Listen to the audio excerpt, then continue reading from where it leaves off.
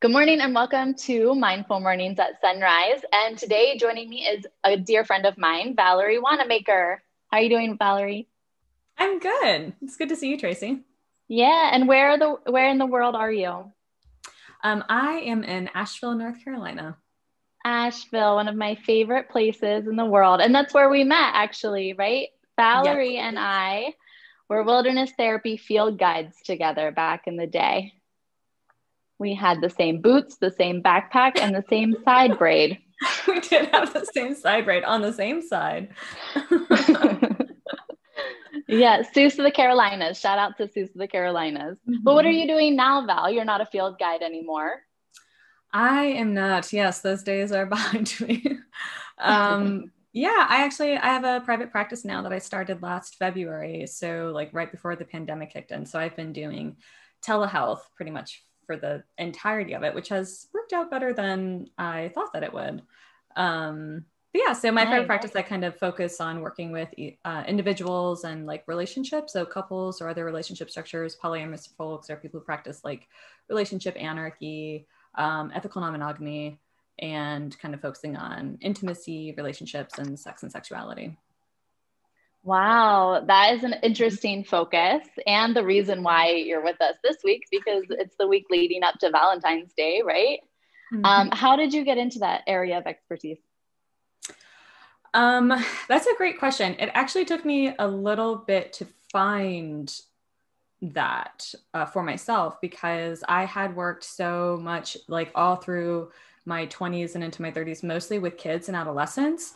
Um, and when I went back to graduate school and got my master's and started working as a clinician, I was still working with that age population and just was having a really hard time. Like I kind of like lost my enthusiasm for it. And so part of how I ended up here is I spent like a year just kind of noticing what am I naturally drawn to? What are my interests? What are the books that I want to read? What are the things I want to learn more about? And all of it was related to uh, relationships and sex. So I was like, oh, that's what I'll do. And since then, it's just been like a really beautiful transition because I didn't realize like I had brought all this knowledge of um, information with me that I'd been kind of researching and you know trying to understand within myself and the background all over the years and so kind of bringing that in and then being able to kind of um, gain more practical know-how through other trainings and um, I, I, practice primarily with couples um, through emotionally focused couples therapy. So that's been a really big um, influence and orientation to the work that i do. So it's fun. Interesting. I really enjoyed so when we worked together in the wilderness field we usually worked with adolescent girls. Um, and it was such a prominent topic with that age group and what they've been through and what what they will be going through when they enter enter back into the world again. Um, and it's something that we talk about at Sunrise RTC too. And we have a, a healthy sexuality group for the girls to really get to know what a healthy relationship in terms of sexuality looks like. Mm-hmm. Um, so leading up to our, our Valentine's Day week and, and think of Valentine's Day as you will, Hallmark uh, holiday or whatnot. But it's also nice to focus on relationships, on the people you love, your self love. So here's my question, Val. Are you ready? Yes. How can we ensure that we're in a healthy sexual relationship with not only our partners, but ourselves as well? Do you have an answer to that?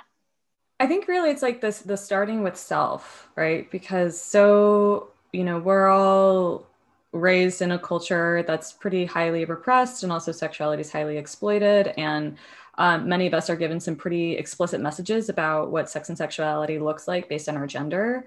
And then for those of us who don't subscribe to the gender binary then we're given no messages or messages that are based in deviance. Um, so it's almost like having to start like start over or like clean slate or even just yeah. like acknowledging like what are the messages that i internalized about my own sexuality and what um, it's supposed to look like, what it's supposed to feel like, how I'm supposed to engage with it, who it's for, what it's about. Um, like like really just like acknowledging those messages because i think so many of us walk around with that in our head and then it kind of embeds in our bodies and our systems and then it shows up as like sexual um, shame as fear mm-hmm. right we want to hide parts of ourselves we feel too much or too big or not enough and all of that kind of gets tangled into our sexual template in a way Um, and no, no wonder it's such a taboo topic, right? We're all carried around all of this. Like we don't know what to think about sexuality because we're giving we're given so many different sides of the aspect, and then we have our biology within us as well, telling us something different. mm-hmm. Um, so yeah, I Valerie and I in talking about this topic discussed like well what can we say what can't we say and even that in itself is like why do we have to talk about it like that? Um, and why can't we be why is there such a taboo on it? That's interesting.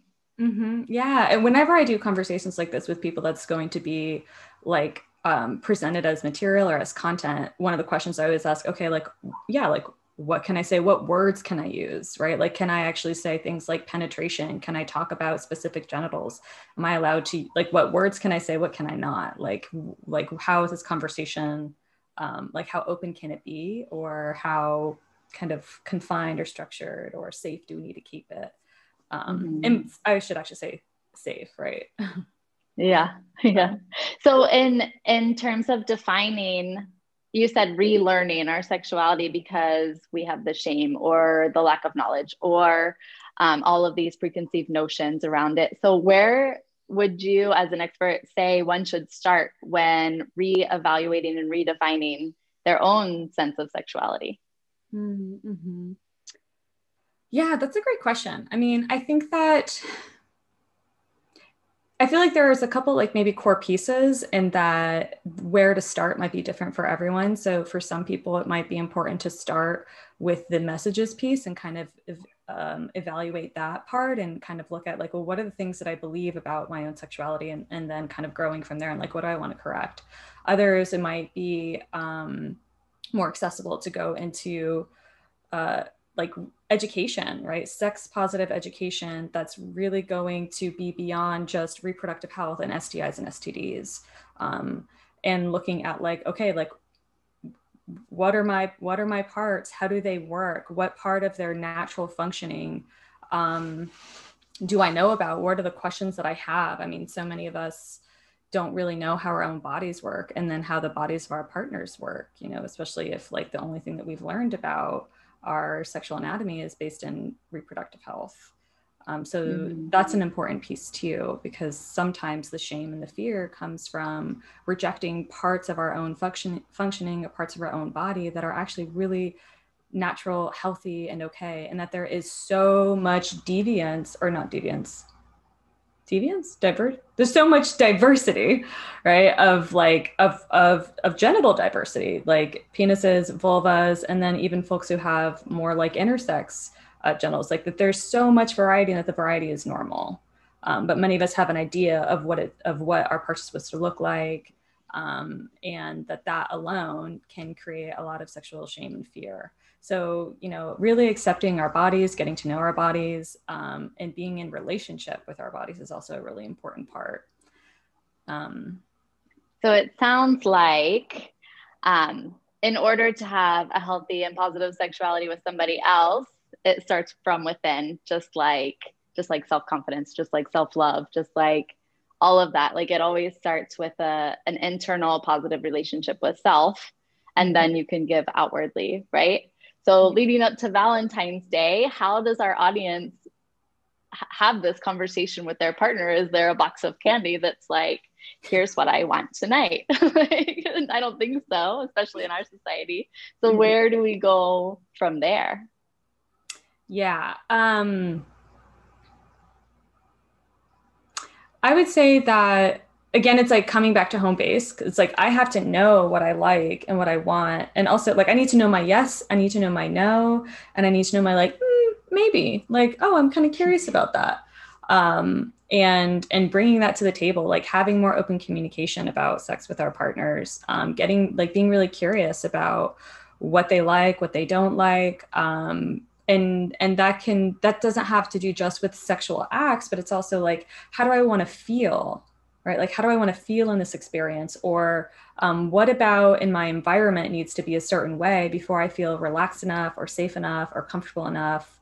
Um, in order to engage with someone sexually in order to have a sexual experience so there's there's all these like different parts that kind of go into it and we often think that like we think of sex as like the solitary act but there's really so much and the other thing too i would say is um that our our own relationship with sexuality is is unique to us. And to not expect our partner to have the same kind of t- you know template to want the same things to approach it the same way um, and that if they don't that there's something wrong with them or with us right that our sexuality is is unique and that part of having a healthy sexual relationship with someone is is creating dialogue around that around that having conversation around it and then like negotiating like how can we both have our needs met? How can we both experience pleasure and feel comfort and feel safe and feel whatever else we want to feel? Like some people like to feel a little bit scared or like dominated or you know like there's all these different like feeling states sometimes that can be really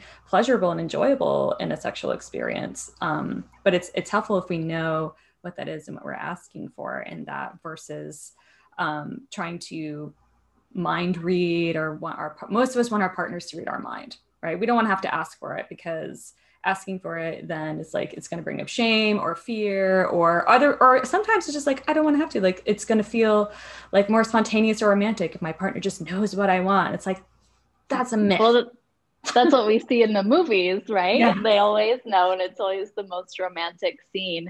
I remember as a young woman i think i don't think i was engaged yet, but I was leading up to that with with my ex husband, um, and I got a Shape magazine, which is where young women, all young women, find their sexuality is through the magazines, right? Um, and it was an article I don't remember who by, but she was like, "Ladies, light your own damn candles. If you want to come home to a candlelit dinner, make it happen on your own. People can't read your minds." And I think that is a huge one and it takes so much vulnerability to be like excuse me i this is what i would like. It would make me really happy if we would do this. Um, and then vice versa how do you how do you draw that out of your partner? Mm-hmm. i don't know if you know the answer to that do you? We all need to know. Yeah well that i think that's a really good question because um, i would say that it's kind of even going back to some of like the the Gottman Institute is really big on like how do we create change in our relationships? How do we create change in our partner?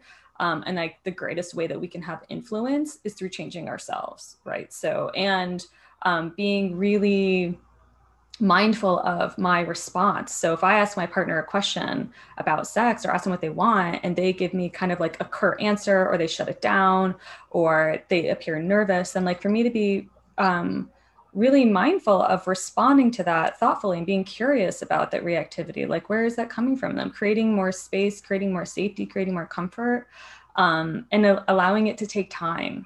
Because mm-hmm. if i have a big change or you know overnight or in therapy or whatever it might be and now i'm feeling more empowered to talk about sexuality but my partner's not it can feel like a lot to come at someone and try to like pull everything out of them.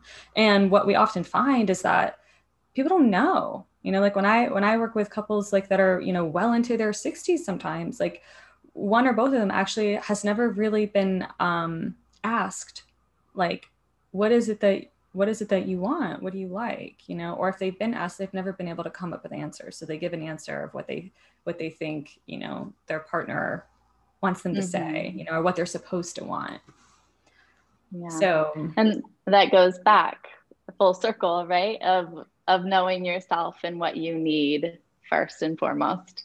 Mm-hmm. Um, and again, this comes up in all aspects of relationships, not just in sexuality or or even emotion, right? It's I'm tired and I don't want to wash the dishes tonight. Can someone else do it? that kind of thing. Yeah, yeah, asking for what you need because you know what you only you know what you need, right? Mm-hmm. Mm-hmm. Yeah, exactly. And and I would say too when we're talking about like um, when we're talking about sex, when we're having these conversations, especially when they're new, um, to to be tender with it, to be uh, you know, not that we have to be scared, but that um, to to just create a lot of space for it and to keep coming back to it just because my partner doesn't know now or if i don't know now doesn't mean that i need to give up and go back to the old script you know but to just continue to be curious and um, engage with what comes up along the way because that's there's probably more than likely i mean many of us have a lot of stuff we have to process along with it and to kind of get rid of the old narratives before we're able to kind of adopt some new ones um, and not that those have to be mutually exclusive they can happen at the same time but yeah, yeah being patient with it so I feel like this is a topic that we could go on and on about for days and, and yes. on all different levels. Um, but from the, the content that we've already discussed, what do you think is most important for our audience today to take away from this conversation? I would say the most important thing probably is that if you have never been genuinely curious about your own sexuality and what it means to you and what you get out of it um, or what your relationship is to it, then that's a good question to ask and to bring some curiosity to it. Um, because sexuality ultimately um, it's it's it's part of our humanity. And it doesn't mean that it has to be any one way. There are a lot of different ways that people orient to their sexuality and are in relationship with it. Um, but that we're going to have the best relationship with it when we're actually actively engaging with it asking ourselves questions and accepting what those answers are for us and also creating space for it to change over time right? Because we're always mm. changing you know that's part of life is like life is change. And what might have been true for me about my sexuality when I was 16 is going to be different at 20 and at 30 and at 45 and at 46. You know, like it changes all the time. I hope so. Allowing that to be true. yeah. and what we need changes with it, like all of that. So, so um, being curious, being open, not being afraid to ask ourselves questions, creating conversation with others, uh, making lots of space for the diversity within it. Awesome. Awesome. So, Valerie, thank you so much for being on Mindful Mornings at Sunrise. And if anyone has questions for Valerie, I'm going to put her website um, in the description of this YouTube video, and you can get a hold of her through that website. She also does Enneagram classes, um, and I'm hoping she'll come back on at some point and talk about the Enneagram with us because that's always really interesting too. But, Valerie, thank you so much. Um, is there anything else you want to say?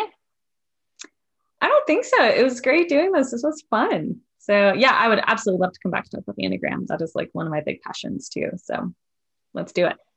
Let's do it. All right. Happy Valentine's Day, everyone. Go speak your needs.